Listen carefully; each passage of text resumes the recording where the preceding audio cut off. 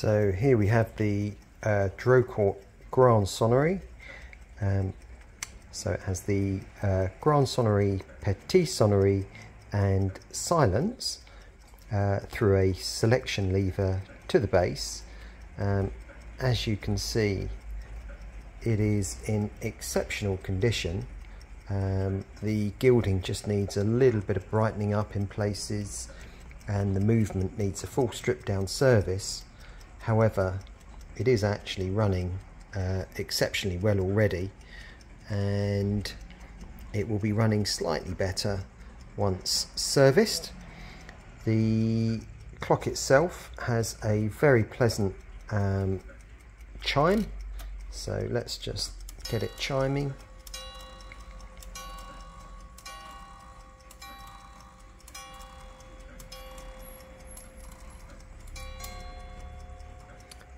as you could hear there you had the 7 for 7 o'clock and then the ding dong or the ting tang for quarter past. So it's a quarter repeat.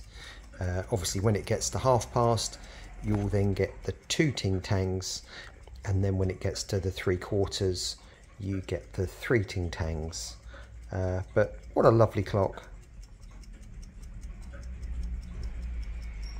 obviously I've, I've got the back door open uh, just to let the sound out because through a um, camera phone standing so far away you you don't get the uh, the full sound unless the, the door's open